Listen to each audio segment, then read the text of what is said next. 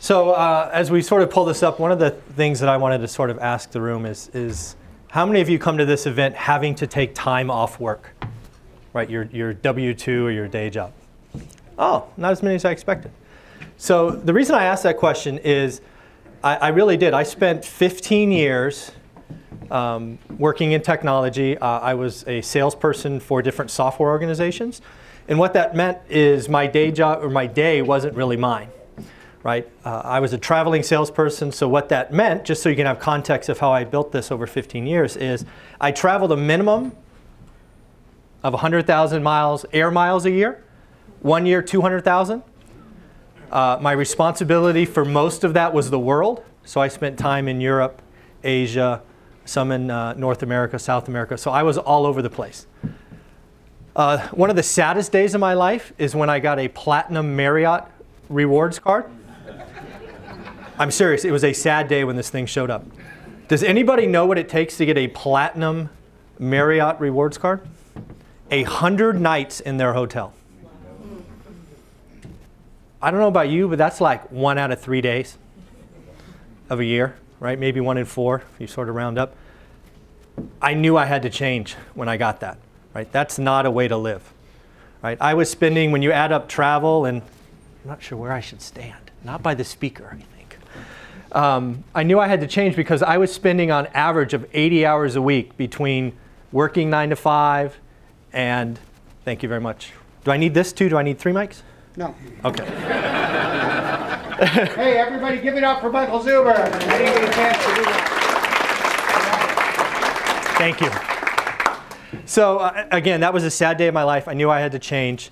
Uh, I'd already been in real estate about eight years at this point. Um, as you'll see, we'll, we'll, go through the full time together.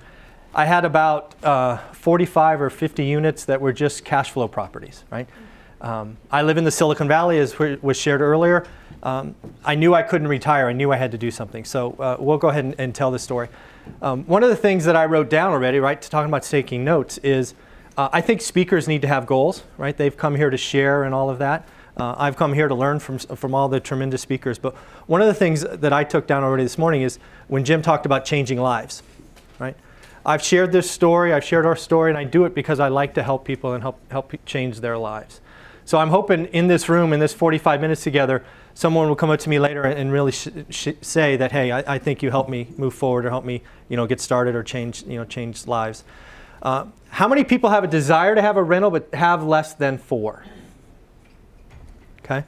One of the things that Jim asked me to kick off was sort of this talk about why four, right? How, how can you help people get started? So I have, I have found that if you can get to one, right? Getting off zero is hard, right? Pulling that trigger is hard right? You get stuck in spreadsheet madness, you get stuck in self doubt and self talk, and your network sort of confusing you and all that stuff, right? Anybody been there? Yeah, I'm still there. And so that's never going to go away, so just embrace it.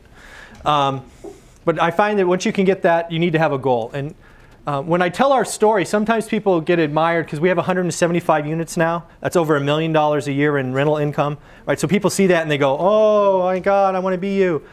Um, but but it does it sort of scares them at the same time, right? So that's why I now have adopted the, the talk about just get to four. I like to talk about four because I think four changes your lives. Right? If you only ever got four, right? If you're a flipper, if you're a wholesaler, right? You have a job. You may not like to admit that, but guess what? You have a job. So I suggest as you're building this chunk money over time, maybe every fourth or fifth or sixth or tenth or whatever that is for you, find a way to secure a long-term asset, right? And that's going to be a landlord or a rental property, whatever you investment or whatever you want to call that thing. I think if you set up and had four, and then you're conservatively financed, you hold for the long term, you let inflation do what inflation does, you let values increase, you let rent increase, your life will be fundamentally different in a decade. It will be wildly different in a couple of decades because that's what happens when you can hold for the long term. So that's what we're going to talk about today. All right? Uh, so I, I used to talk for a living.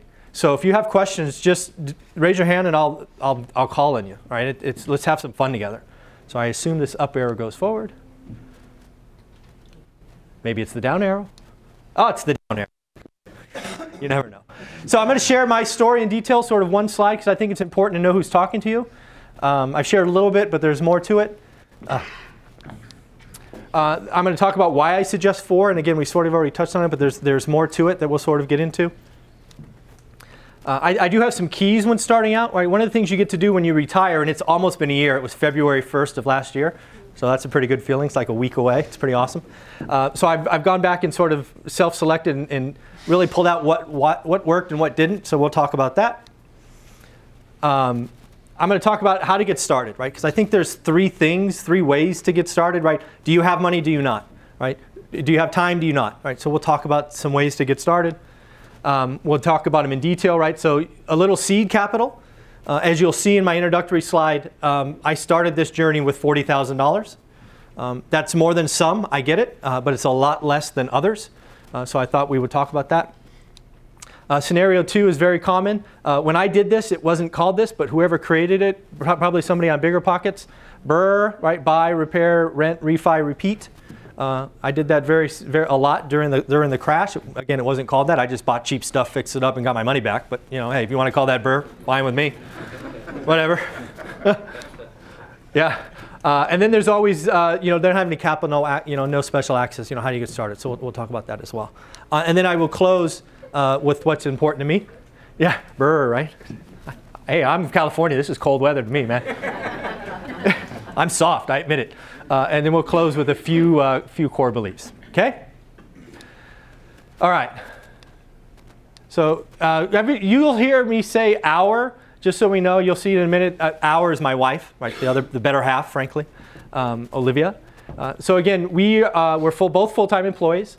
Uh, we live in a city called Mountain View. If you don't know where that is, think Silicon Valley. If you don't know where that is, think Google. Right? We're literally like half a mile from the Google complex, uh, and we've been there uh, since '99. So we've enjoyed all the wealth created because all these Googlers moving around us with too much money. We could we could not afford to live where we are if we had to buy now. It's ridiculously expensive, and I feel terrible for uh, the millennials trying to buy into that.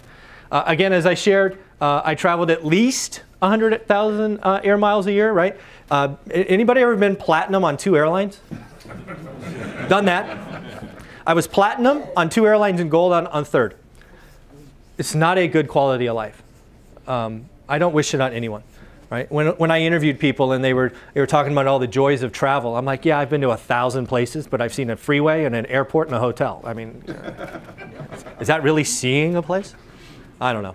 Uh, the other thing is, is I was in a sales profession uh, where I had 90-day quarterly pressure, right? Whether it was a small software company, it was like making payroll, right? So like real pressure. Uh, or it was quarterly earnings that we had to hit, right? I ran teams uh, of dozens to hundreds. Uh, so um, the last 10 days of a, a, a quarter, I was not a very happy person. And it was like repeatable because like these 90-day cycles show up, guess what? Every 90 days. Right? So it's, it's a horrible quality of life. Um, so I, I was, uh, I knew I had to get out. I saw people a decade older than me pass away from it, right? It doesn't have a long shelf life, right? It is, when you travel 100,000 miles, you're always eating out. Yeah, your, your checkbook might look okay, but your quality of life. I never met someone a decade older than me in my profession that was what I would call healthy or even happy. Think about that they're not healthy or happy. That's a clue, people. Uh, you know, life gives clues.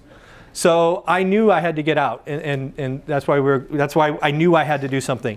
Um, so we built a portfolio uh, two and a half hours away. Anybody know Fresno? Like, right? So Fresno is um, two and a half hours southeast of where I am. Um, you can actually live in Fresno very comfortably on $50,000 uh, a year right? So it's, it's and it's got a million people, right? So it's a, it's a decent market. And uh, when I started 15 years ago, it was the only market that made sense. Anybody know the 1% rule? Right? So I bought a house for 107 grand on 1818 North Drive. You can look it up on Zillow if you like. And uh, it rented for 1095. Uh, you'll hear more about this house on one of my closing slides because it doesn't start well. So we'll, we'll talk about that just to tease that out a little bit. Uh, again, I already admitted we started with 40 grand. Uh, we'll talk about how I spent that actually in uh, the first scenario because I'll, I'll, just I share everything, uh, and then we'll talk about uh, also how we how we grew this from a single three bedroom, two bath, two car garage that bought for 107 grand into 175 units. So we'll, we'll try to give you all of that. Uh, the other thing that's interesting is I bought out of the MLS, multiple listing service, for 15 years. For the first 15 years of my career, I bought two deals not out of the MLS because I'm, I'm always just direct. I bought one on an auction site during the crash, right? Auction.com, go figure. And then I bought another one directly from a bank that saw what I was doing to a property literally next door. Other than that, every property I bought was out of the MLS. How many people in this room think there are no deals in the MLS? I agree, there's 99 point something percent of no deals in the MLS, but if you spend the time, there are deals. I have closed three deals. It's what, the 23rd? 22nd? 23rd? Right. Ah, wow, 24th. Well, it's California, three hours away, so it's still the 23rd. I've closed three deals in January. All of them were out of the MLS. Right? I bought them all for, I bought two for $50,000 in list price and one for $60,000 in list price. Right?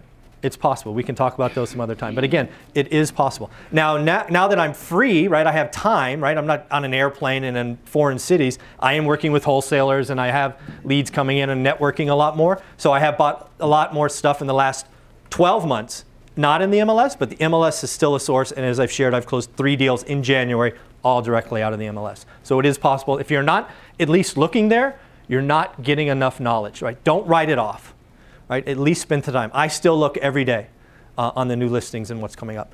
And again, I had no special access or system. I knew nobody in Fresno when I picked it. I let the spreadsheets tell me where to go. Now, maybe that was stupid. It worked out, but maybe I got lucky. I get it.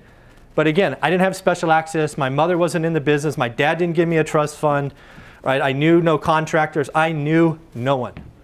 Right? When I heard Fresno, I'm like, is that in California? And I was born in California, right? I was born in Sunnyvale, grew up in Cupertino, live in Mountain View, right?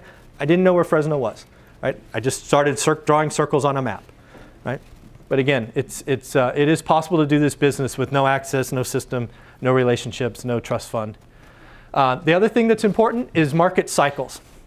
This was a huge benefit. So if you do math on 16 years of 2019, when did I start? That'd be 2003, people. Need more coffee in the room, Jim, next time? Note to self. so, why is that important? Because again, what you should be taking away from all these discussions from the people speaking to you is history kind of repeats itself in real estate. 2003 to 2008 was a seller's market. What did we what are we either in, arguably at the end of, or what just finished? Seller's market, seller's market right? So might it be interesting to figure out what I did at the end of the last seller's market? Right? Kind of interesting, right? So let's talk about that.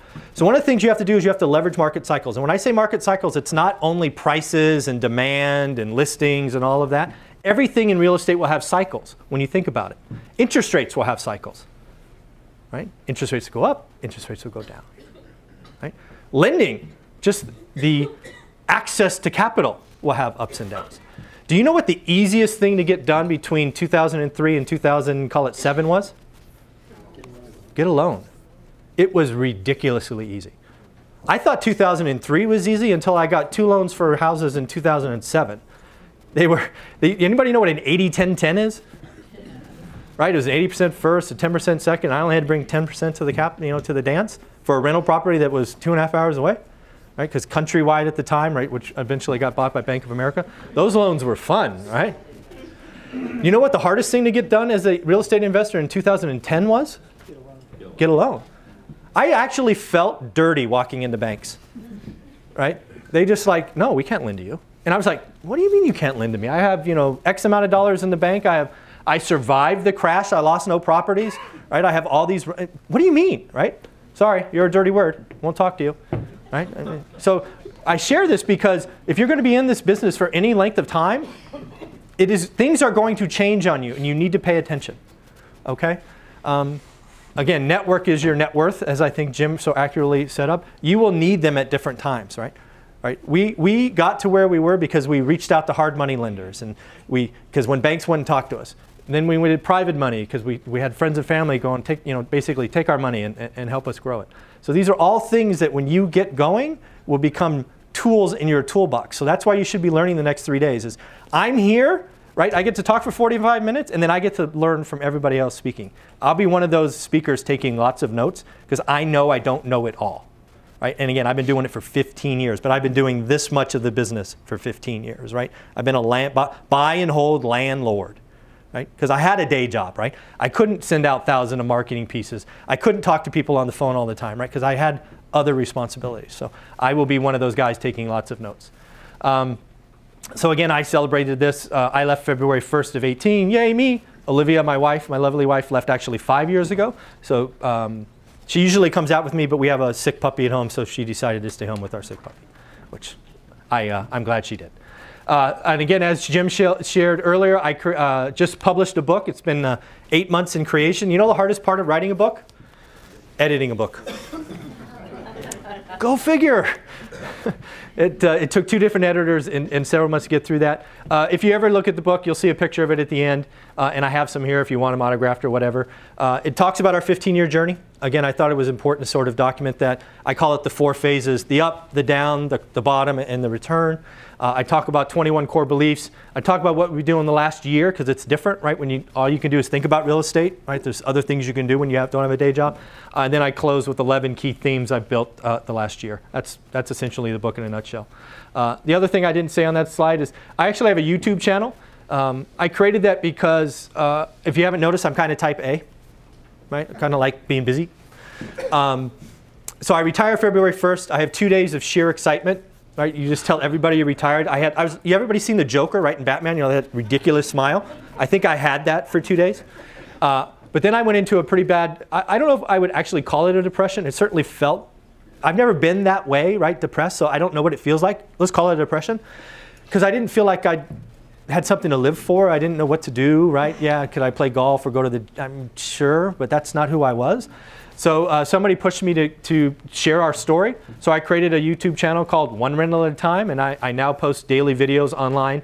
Uh, I either do something called Real Talks, is just a topic going on in the industry. I do something called subscriber questions. This morning's video uh, was a subscriber question on Section 8. Somebody asked me what I think about Section 8, so I said, hey, go talk about that. Uh, something that's really taken off and has been a tremendous success are interviews.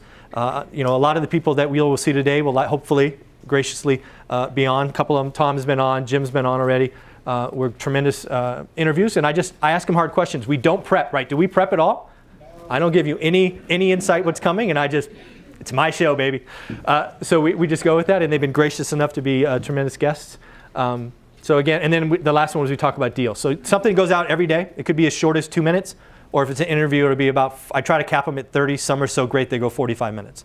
But again, I have to have something to do. And, and so every day something happens. Uh, and again, so since I've had time, I was never a flipper. As I it been in the book, I flipped one property by accident.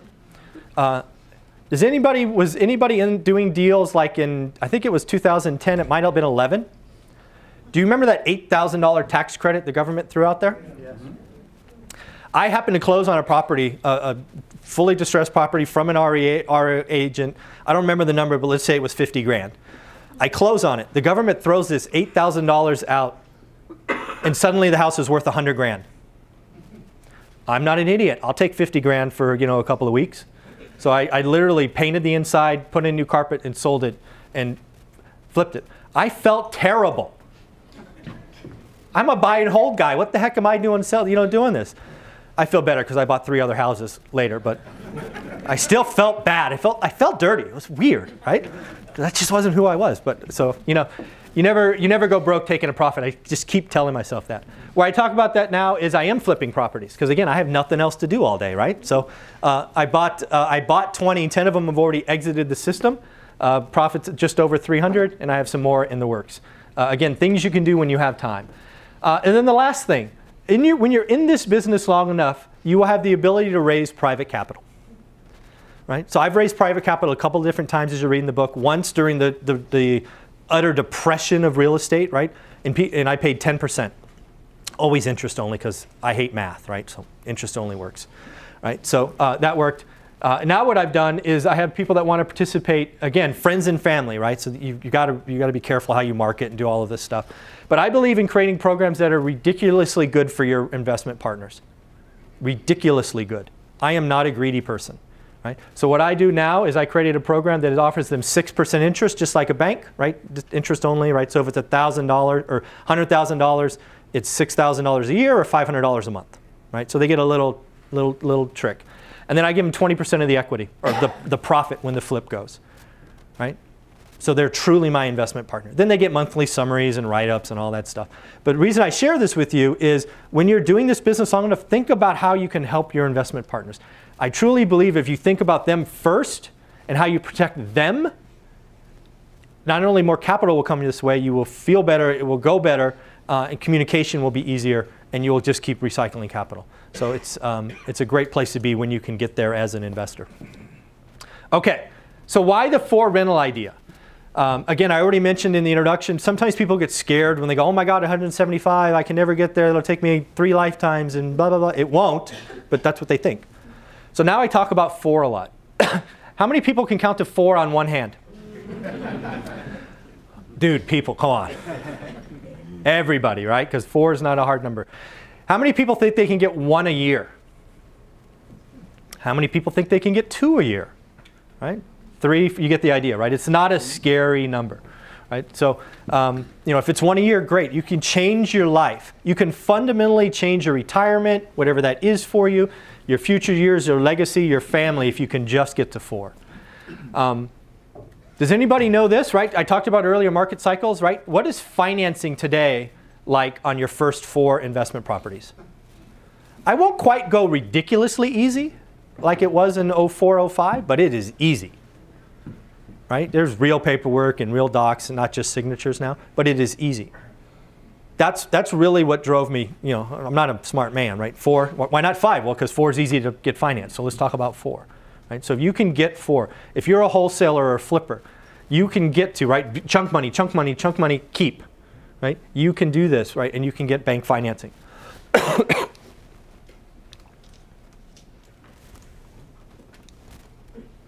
All right, what's going on? Oh, there we go. Um, I believe having four rentals uh, over time will fundamentally change your life. And I conservatively financed. One of the things that you will hear from me is you have to conservatively finance your stuff. I don't generally believe in 100% financing. Yes, I know if you buy it cheap enough, you can make it work. But in general, I don't set that as an expectation. When I'm talking to other full-time employees and they say, hey, I got approved for a bank loan of 20% down, they're going to finance 80%, right? If they have a job like I did, where money's not really the challenge, right? I, you know, you, you have some money in the bank. I actually tell them to put 30 or 35 or even 40% down. Because what I want for them is freedom of time right? You don't have to think about it. If you put more down in that position, it's going to be easier to finance. The, the cash flow will be easier. You can absorb those once uh, you know the window broke or you know the, the, the garbage disposal went out or whatever it happens to be without being negative cash flow, right?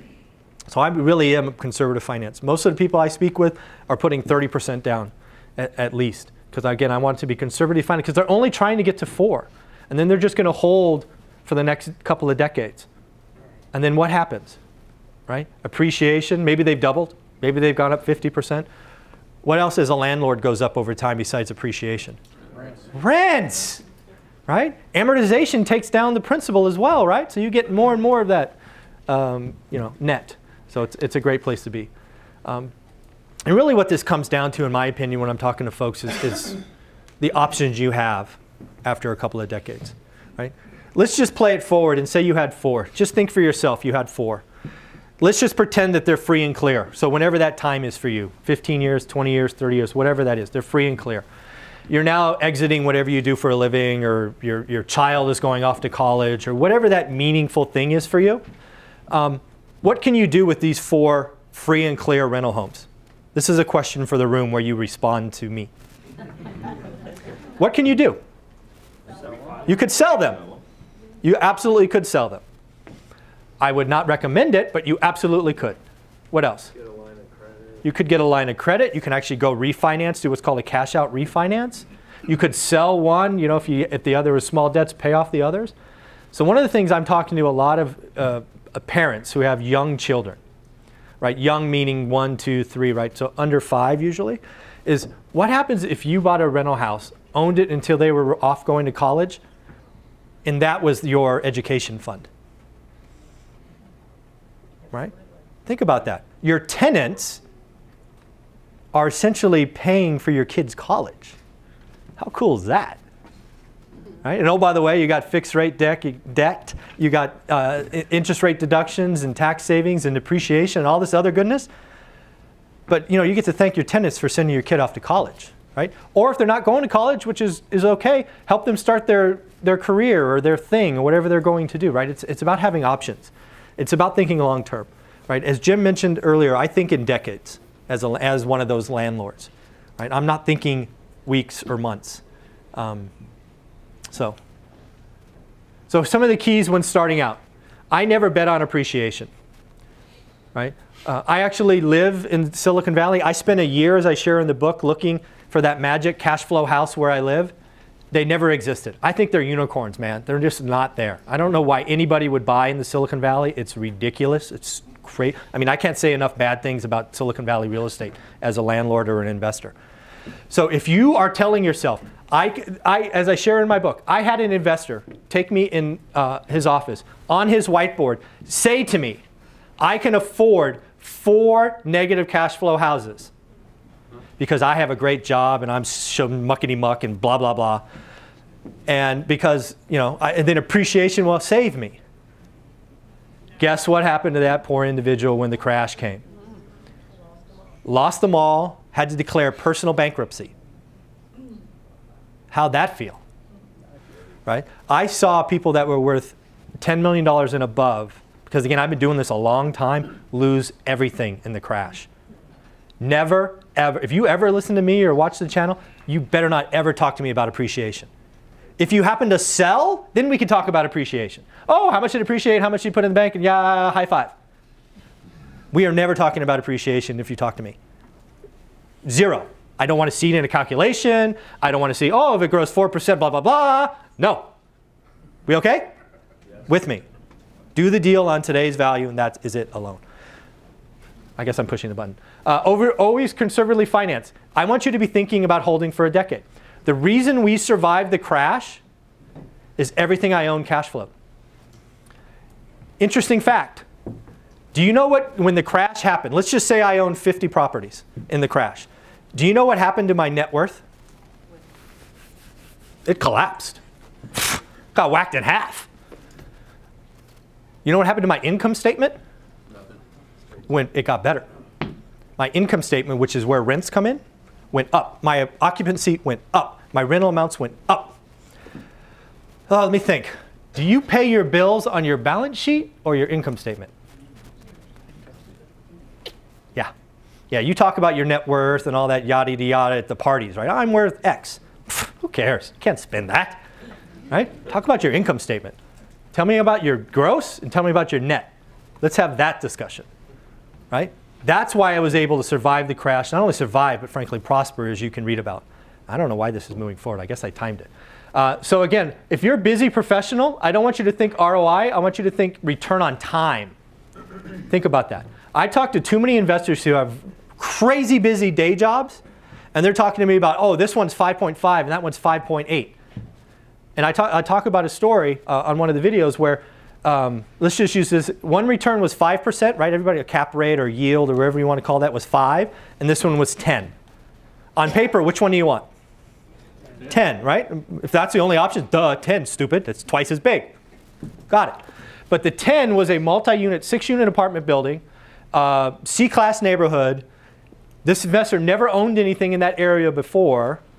Uh, anybody see any red flags yet? right? It's going to be, it's going to take time to manage. I own lots of stuff in that kind of area, so I'm not talking down that area. What I'm saying is, if you've never done it before, and you already have a very busy day job, and you're trying to self-manage, you might have a problem. Or the 5% is a triple net office building where you do nothing. Guess which one I told him to go after?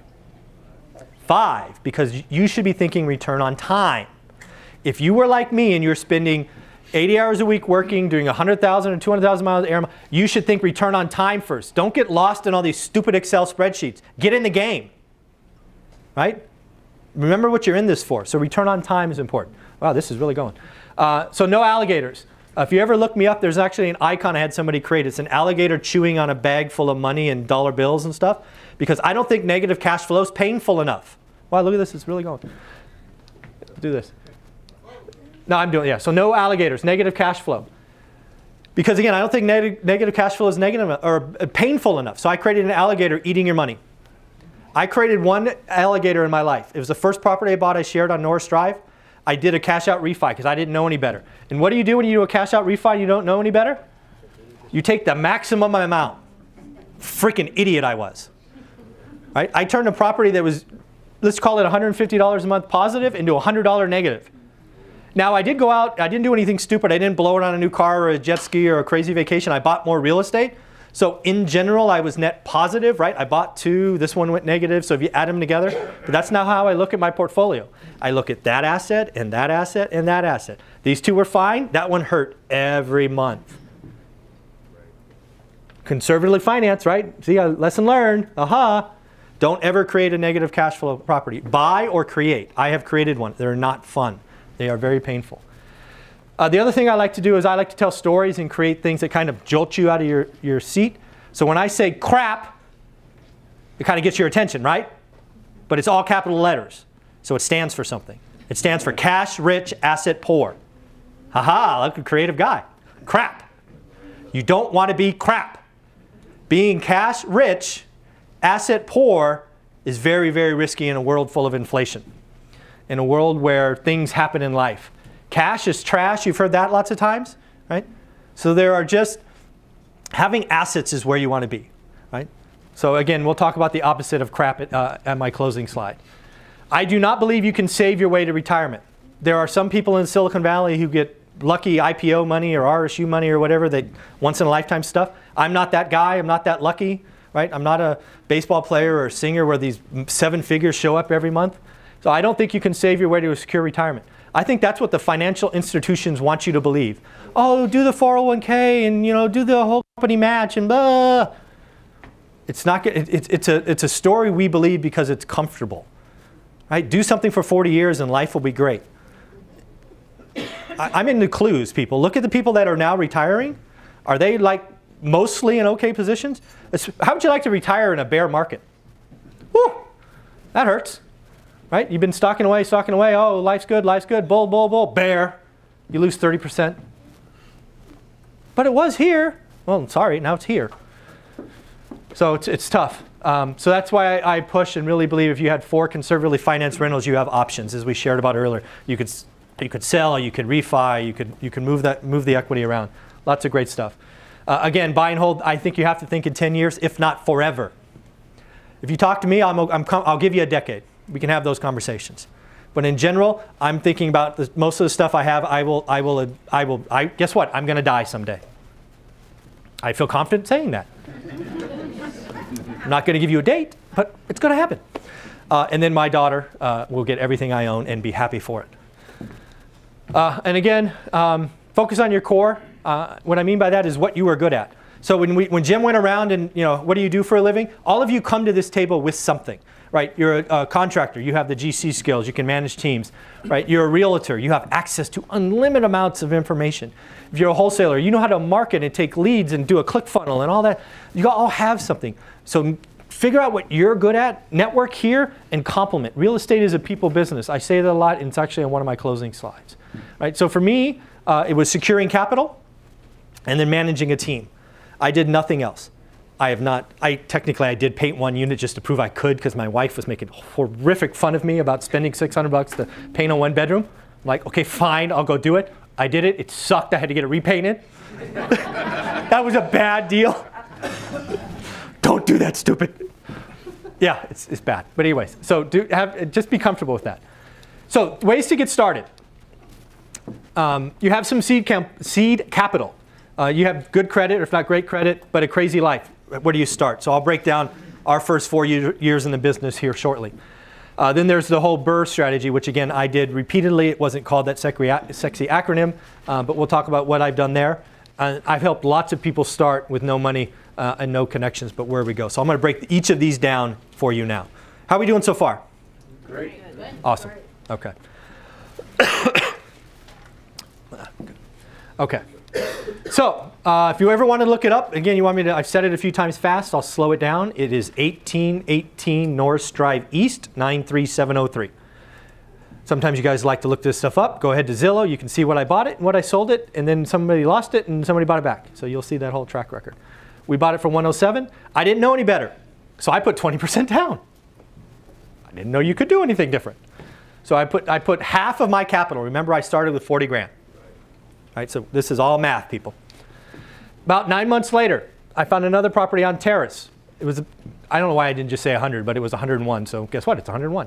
So I put $10,000 down. How much do I have left? 10. Awesome. We're paying attention. Coffee's kicking in. so about,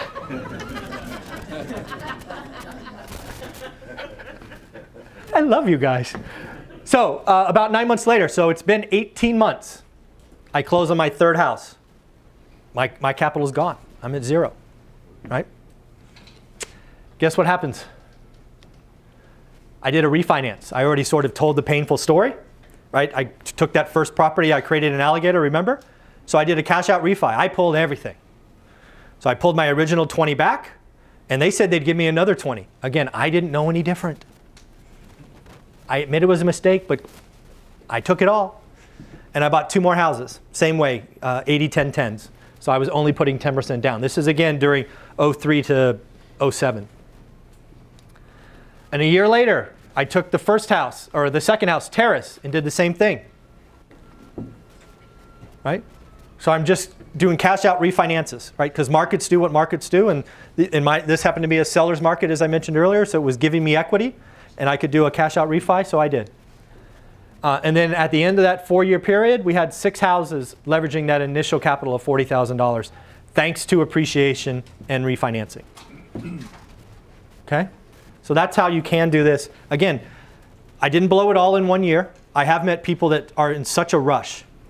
Right? One of the one of the dangers, right? Let's just say you had $40,000 in your, your your bank account or whatever. I have met people that are in my position where you have no time I still remember a conversation I had. Somebody went down to my market to Fresno. Somebody from the Silicon Valley went down to Fresno because they saw me talk or whatever. And they came back after that weekend they said they bought three houses. I'm like, you heard some schmuck? Yeah, it was me, but still. Talk about a market you have never been to. And you took all your hard-earned capital and you bought three houses. Huh? I mean, don't do that. Uh, don't be in a rush.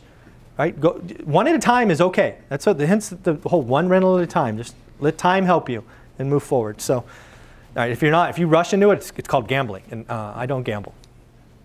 So BRRRR, I love that. I, I, think that I don't know who did that. I, I, that's a genius. Brandon Turner, right? I think I actually wrote on Bigger Pockets for a long time. I think he took my story and did that. Freaking guy. Now he's off in Hawaii having a good time. So here's a story I did BRRRR with. So uh, I bought a house uh, on Norris Drive. I write about it in the book. I call it Little Nevada. Uh, for, it was technically 69 grand, so here I round up. It was a really rough house. Uh, I established a private money lender. Something I do in my programs is they only come in for uh, the purchase price. I fund all the repairs out of my own pocket. Uh, in this case, uh, let's say we were paying them 12%, again for easy math, so that's $700 a month, right? So it's still ugly. House is still ugly. Um, needs $40,000 in work. I happen to have the $40,000, so I believe in putting in my money at risk first if you don't have that, you can go out and borrow that as well. In this case, I paid that, but if you are borrowing it, let's just assume 12% again. So that portion would be a $400 payment. My uh, after market or after remodel values were I got a signed lease for 1250 and uh, I ended up selling the house for 169 but let's say the value was $169,000. Everybody with me so far? Right? This is over about a 90 day period. Right, Jim talked about flippers thinking in months. This, this is the months. So what we did, or what you could do, is you can go get a 70% loan to value. Right, that would be extracting $118,300. And you could then, you know, you will have at the end of that, you know, rough math said you'll have $8,000. If really think about transaction costs and all of that stuff, you're probably walking around with $4,000. But you would have done a successful BRRRR strategy that's probably four to five months from purchase of ugly, destroyed, you know, squatter house to fully remodeled, fully leased at market, beautiful house, right? And if you ever go to my YouTube site, you'll actually see videos of the befores and afters of that. It's called Little Nevada if you ever look it up. Does that make sense for everyone? Yep. Right? So you were paying how much if you had to borrow everything during the, call it four month hold? Let's see if we can do some math. 1100 right? You go, go back, you do all this, you actually borrow more money because you borrowed 110 before. Now you're borrowing 118 from a bank. Your payment gets cut roughly in half. it's 625. This is why the BRRRR strategy works, right? But you have to buy them right, right? I couldn't have paid 100 grand for that house and made this work. Right? I like to buy, again, I'm into simple. I like to buy below 50% below what my after repair value is. Does that always work? No, sometimes the house is too far gone. It's, you know, tear down. Don't buy those. right? So that's where I try to, try to buy. So I bought a house for 70 that had an after repair of 170. So I had plenty of room to make that successful. Everybody okay? Yep. Awesome. and then if you have no cash and no access, no, you know, none of that, these are the things that I recommend.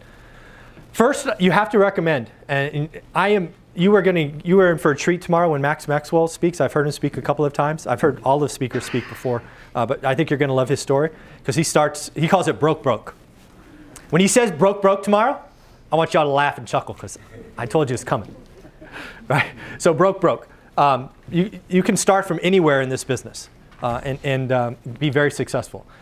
You got to focus your energy on becoming assets to buyers or sellers, preferably both.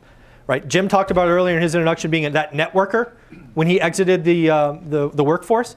Right? He built a list of 3,000, all of that. He was being a, of service to buyers and of service to sellers. So um, you need to do that. Buyers in general are usually like me where time is my issue. How many would believe that I've never spent a night in Fresno after 15 years? and I own a lot of, lot of, I've never spent a night in Fresno. Right? So one of the things that's valuable to my network are people driving for dollars and wholesalers and bird dogs and all of that stuff. Right? I choose, I live where I want, but I invest where the numbers make sense. Right? So the numbers make sense in Fresno. I live where I want. My wife loves the valley, so we're staying. I wish we could leave and we could get all this equity back, but can't. Ah, I'm, not, I'm not bitter.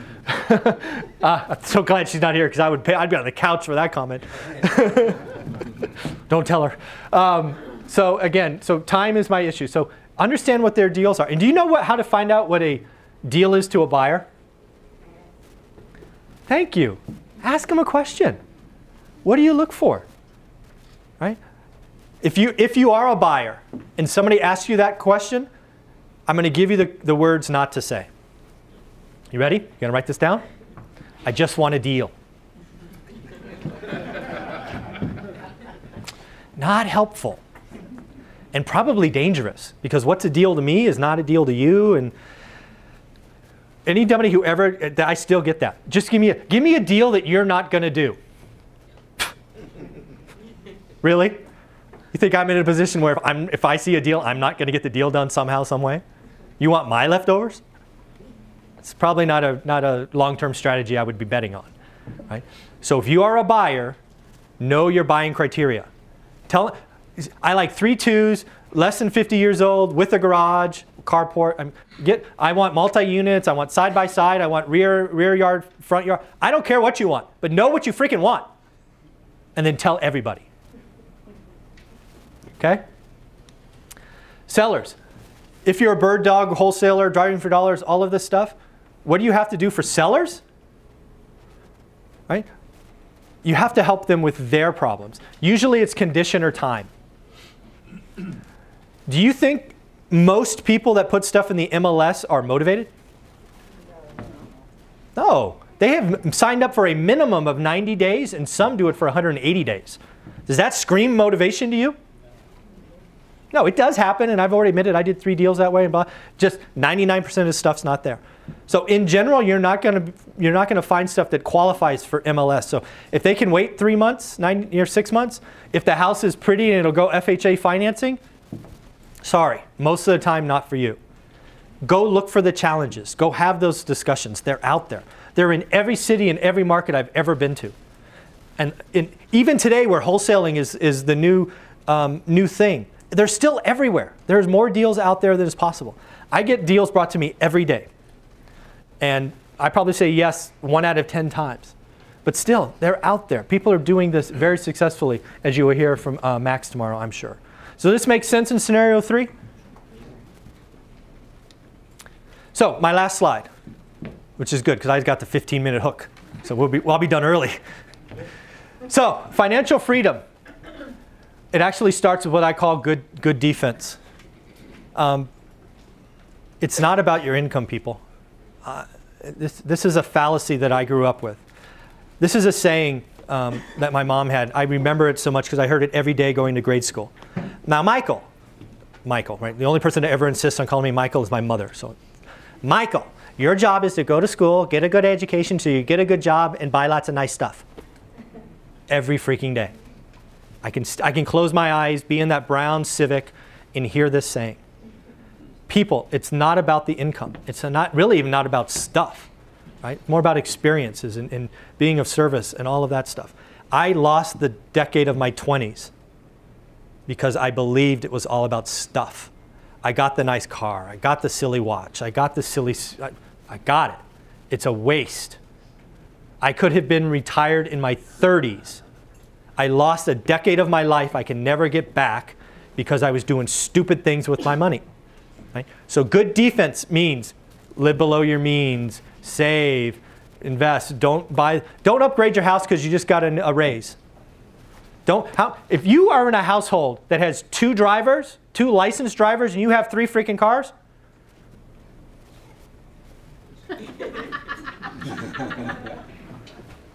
I know people with five cars and two licensed drivers. Come on, people. How are you, you going to retire early when that kind of spending? It's ridiculous. So remember, good defense. I do believe, and I've shared it earlier, this is a phrase I have a lot, is live where you want wherever you want. The real estate is one of those things you can literally do from a beach in Phuket, Thailand, if that's where you want to be. I could be living in Phuket, Thailand, investing in Fresno, California. Absolutely could. You invest in building the network, you set up the communications, you find a way to get contracts back and forth because maybe Phuket's not great. Connect. You got a, couple of wrinkles to figure out, right? Get FaceTime going up, people walking properties you trust, right? Get inspections. You can do this anywhere. So please live where you want. However, that last part of the sentence is very important. Invest where the numbers make sense. One of the things I believe you're going to hear from Tom Olson later is about Gary, Indiana.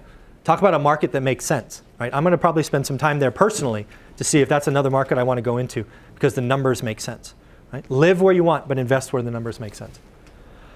Again, I, I said it earlier, we laughed and chuckled, uh, but crap, right, all caps with periods, so I'm not swearing at you, uh, is not a way to live. I don't believe being cash rich and asset poor is a, is a recipe for success. I meet people all the time that talk about their six figure 401k, and I'm like, yeah, you're one oops from that being gone. Right? You, you, you exit in a bear market, right? I go back to the people now and talk to them, it's like, well, I lost 30%. How'd that feel? That probably didn't feel very good, right? So again, having assets that appreciated, in, asset um, inflation protected, paid off by others. I mean, it's it, rental property is a great place to be. I promised you the opposite of crap. and this is a challenge for the room. If you can create a better acronym that's the opposite of crap, that's has, here's the rules: four letters, and it's an actual word. I'm game. So far, ARCH is the winner. It stands for asset rich, cash happy. See? Not just a hat rack. I don't think that's the best one out there, but until you give it to me, that's the winner. Okay? So again, asset rich, cash happy. Because I don't want you to be cash poor, right? I want you to be cash happy. Right? You got to have a reserve, you got to have a little walk around money, all that stuff. So asset rich, cash happy. This is the big one for me, especially if you're a full-time employee like me. And if you ever freaking tell me I just want a deal, I'm to, if I can, if I'm in an okay mood and I have my coffee, I'm just to come back and say, what's your acquisition criteria? This is the number one thing to get right if you feel stuck. Anybody ever been stuck in analysis paralysis? I'm still there after 15 years, so it happens to the best of us. This is what you have to get in your mind. Go away, get away from your Excel spreadsheet, and think about what what you want to buy, right? Is it a is it a five percent return? Is it a six percent return? Is it a, a I don't care what it is. Maybe it's new construction on a street that begins with the letter A. I don't care what the freaking requirements are, but get yours down. And then when something you know, walks across your path that hits your requirements, pull the trigger. It should be non-emotional. It's not, oh, it's facing the wrong direction and it's pink when it should be yellow and ah. No, know your acquisition criteria. Be able to tell your friends and family what it is. It's not a secret, people. Once you know what yours is, tell everybody. Tell the wholesalers, tell the bird dogs, tell your realtors, tell your, tell your competition. Because guess what? Your criteria is probably not theirs. And this is a network business. This is a people business, as you will see on the other side of this slide. This is a people business. Don't be shy. Don't live behind your computer. Sorry. Get out in the real world, talk to people, have conversations, go see stuff. Uh, here's one real estate will test you over and over again. It still tests me to this day. right? And by test you, I mean throw bad things at you. Right? Right? So um, you will, you will ha you have some days that feel great, you have months that feel great, you may have a year feel great, and then something's going to happen. Real estate's trying to kick you out of the business. I'm convinced that real estate is trying to kick you out of the business because it knows that if you're in this long enough, you're going to be wildly successful, wealthy, and happy. But it's trying to test you to see if it's if you really are game. Are you committed to this or not? So this is what I promised you. I told you earlier, remember I told you the Norris Drive story didn't start out well? So let's rewind the clock. It's 2003. We've just spent a year of our life looking in the Silicon Valley for that magic street that had cash flow. And as I admitted, admitted we didn't find anything. Think about that. 52 weeks, literally, either a Saturday or Sunday, we were in our cars driving around. Seems committed. We finally have that kitchen table conversation with my wife, Olivia, much smarter than me. Says, Why are we only looking 30 minutes from our home? I'm like, Because that's what the books say, right? It doesn't make sense where I am. So we pull out a California map, start drawing circles, we find Fresno. Spend about a month looking at Fresno, and we finally, fight, we finally find something that hits our acquisition. It's 1818 Norris Drive. We buy it, 107 grand. We paid list price because it was a seller's market. It's what you do in a seller's market, right? It rents for 1095. You could not believe the feeling when that tenant moved in. Right? Because now we're like 13, 14 months into this thing and we finally have, we're finally landlords, right? We celebrated, we had a dinner, we're high fiving, we're hugging, we're doing stuff what married people do, right? It was awesome. Y'all know. Come on. Draw a picture. Tom, that's for you. Can you start with that picture for me? Love this guy. So, two weeks later, real estate tests you. Unbeknownst to us, the wife and husband break up. She leaves, never to be heard from again. We hear she goes to Arizona or Texas or whatever. Don't know, can't find her, right?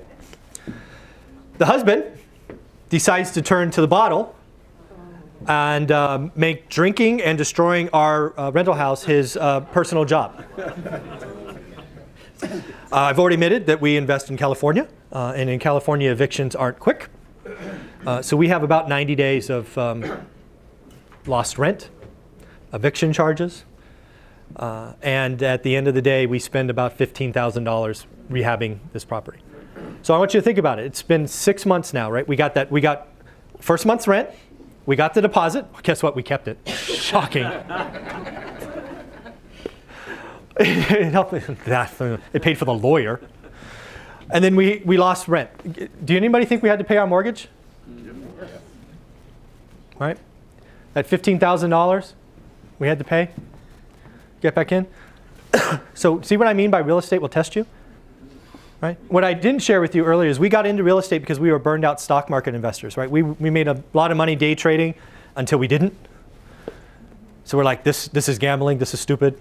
Then we get into real estate, we spend 13 months doing something we think we won, then it kicks us in the teeth. My wife could have said, I see, I told you, it's rigged, it's, we're not doing this, it's too far away, I told you Fresno sucks. I mean, it could have been ugly. No, we were in this 100% together. She's like, great, cost of doing business, let's keep going. I applaud her every day. I give her credit in the book. We, I would not be standing here today. We would have taken a loss on that property. Uh, but as you've seen, that property did great things for us. Not only did we do a cash out refi that bought more stuff, we ended up selling it during the, the peak and we 1031 all of that money uh, into apartment buildings. We actually exited the seller's market by selling all of our houses. Technically not selling, sorry, accountants in the room. We exchanged. We sold all of these units and we, we went from eight units to 80 units. No new capital, right? We just did a 1031 exchange in the small apartment buildings, and I talk about all of that uh, in the book and on the videos. But again, what's important about this statement is couples must be committed. I do not want to talk to people that are 99% committed because real estate's going to test you and you're going to have the Norris Drive story happen to you in some way, somehow. And if you're going to go pick on your partner and say, see, I told you, don't get started, don't even bother. Not a place to go. This real estate business is hard, right? It's easy to get going and all that, but it's going to test your mettle. Are you in or not? Right? It still happens to me to this day. Now the good story, again, Norris Drive ends well. We sell it for 265. We buy a five-unit apartment building. Get this, we sell Norris Drive that rents for 1100 for 263. You can look it up on Zillow or 266, whatever. We buy a five-unit apartment building that rents for almost three grand for 223. Uh, market's weird, right? Market cycles, right? So the when the market tells you to get out of one asset, don't be afraid to 1031 exchange into others. We, we got great success with small 5 to 15 unit buildings at the peak. Uh, the affordability index. I often get asked, how did you save yourself from the crash, right? Because we owned assets that were grossly overpriced in 08, grossly. Right, that freaking house. You know how much that house rented for in Norris Drive that I sold for 263? 1100. Remember what I paid, what it rented for when I bought it at 107? 1100. Huh? Yes, countrywide. Thank them. but again, right? The affordability index told me it was no longer affordable. I don't know why. I mean, Bruce Norris gets the credit. I, I heard him talk about it, and I sort of, I'm a numbers guy, econ grad, so I drove into it. And the affordability index went from like 45 when I started in 03 down to 12. I just knew it wasn't affordable. I couldn't buy anything. I wasn't going to buy the next thing, and I knew I wasn't done investing. So I had to do something. So we sold all, exchanged all the houses, and we went into apartment buildings, and that's how we survived and prospered during the crashes because we got out of the stuff that was overvalued and into the stuff that was undervalued. And our cash flow went up, our income went up, our net worth probably went down, but again, I shared earlier, it doesn't matter what your net worth is. The other thing to realize, and I only got this after I retired, is there's actually quality differences. And, and I talk about this as the MLS, because again, as I admitted, I bought most of my stuff out of the MLS over these years, multiple, list, multiple listing service, Realtor.com, Redfin, all of that. So everybody knows what a beautiful house looks like, right? Right, call them turnkey, call them pride of ownership, whatever you want, right? Those are ones that you can buy for um, FHA financing, 20% down, they appraise, their inspections, they pass with flying colors. Right, those are part, those are priced at market. Anybody ever see a listing that says rented under market, feel free to raise rents, tenant lived in? Anybody ever see one of those? I bought a lot of those in the beginning. Right? They're usually 20 or 25% below the beautiful properties. But I'm here to tell you, having been that guy that bought lots of those, those first seven houses were those, it actually takes a lot of your cash. Right? Because you're still probably putting 20% down in today's market, giving lending, they may not even appraise, right? Because lending is sticky on that, but let's just assume they do. But what does your Excel spreadsheet tell you? And again, I tell you this because I made the mistake. What does your spreadsheet tell you? It tells you if you raise rents to market, life is great. Right? You take 800 to 1000 and you only paid 150 for something that's worth 200, what happens? Cash flow goes up. Guess what? Tenants don't live in spreadsheets. If you raise somebody's rent for 800 to 1000 for a rundown dump, what's the best case scenario? They leave.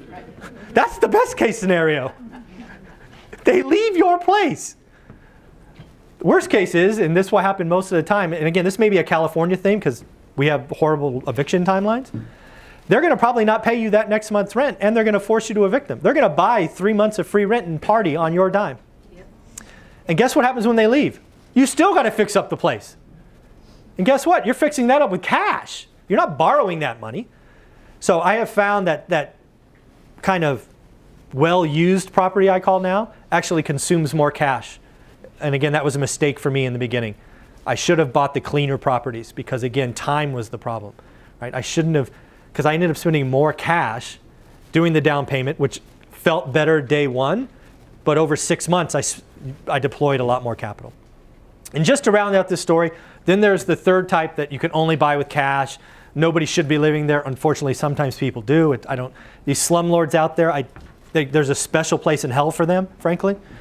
Um, you know, the, the, if you're just starting out in this business and being a landlord, don't buy that stuff because it's so much risk for you. You don't have the time, don't have the contractors, don't have the. It's just a recipe for disaster. But if you are a flipper and a wholesaler and all that, go find those because I believe the more slumlords that we can turn into quality rentals anywhere in this country, just you have a special place in heaven where the other people have a special place in hell, right? It's just it's sad what I see going on. Nothing makes me happier today turning something that is just should be torn down into a beautiful property. Um, so those are the three quality differences.